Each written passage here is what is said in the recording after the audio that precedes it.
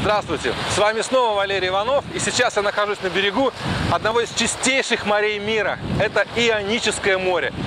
Вода прохладная, купаться можно, поскольку вокруг жара, вода великолепно освежает.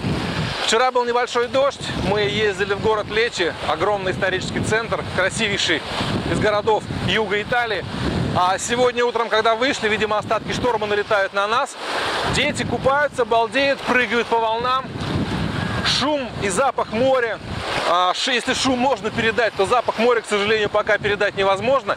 Это божественное состояние. Мы встали с утра пораньше, приехали на это море, а, готовимся купаться, выпили с утра по чашечке капучино, съели свежайших итальянских круассанов и пришли отдаться этому чуду, которое называется Ионическое море.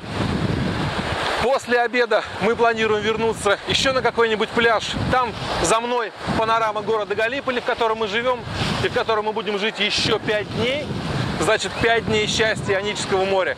После Ионического мы перебираемся на Теренское море. И еще 10 дней мы проживем на Теренском море.